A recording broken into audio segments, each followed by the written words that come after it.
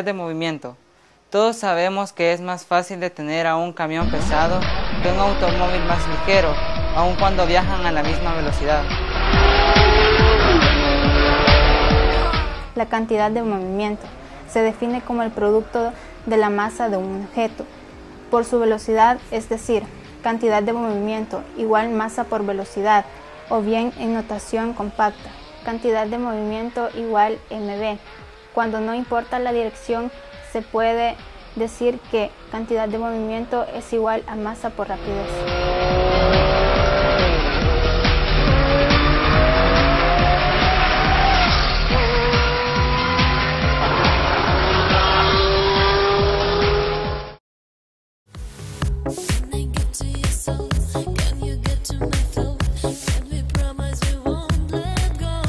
Impulso. Si la cantidad de movimiento de un objeto cambia, entonces puede cambiar su masa, velocidad o ambas cuestiones. Cuando mayor sea la fuerza que actúa sobre un objeto, mayor será el cambio de la velocidad y en consecuencia mayor será el cambio de la cantidad de movimiento. Cuando empujas con la misma fuerza durante el doble de tiempo, ejerces el doble de impulso y duplicas el cambio en la cantidad de movimiento que produces.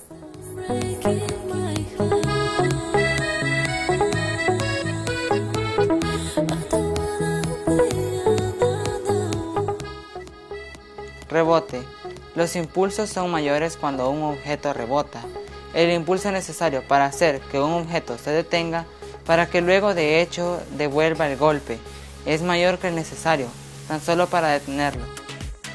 Un ejemplo de rebote sería, supón que atrapas un florero con las manos, en ese caso proporcionas un impulso para reducir su cantidad de movimiento a cero, pero si después tuvieras que lanzar el florero hacia arriba, deberías proporcionarle un impulso adicional.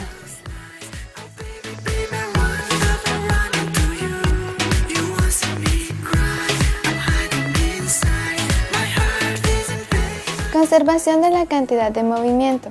De la segunda ley de Newton sabemos que si deseamos acelerar un objeto debemos aplicarle una fuerza neta.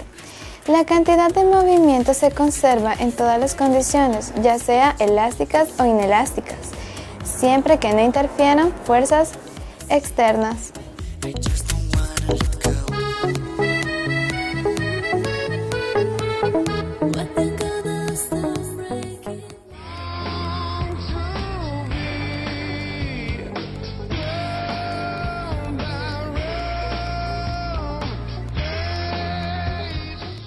Choques. La cantidad de movimiento se conserva en los choques.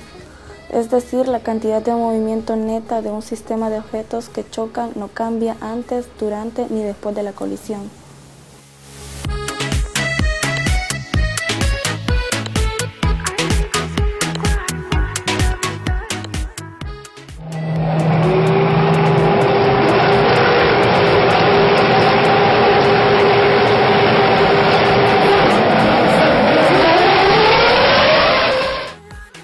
Choques más complicados.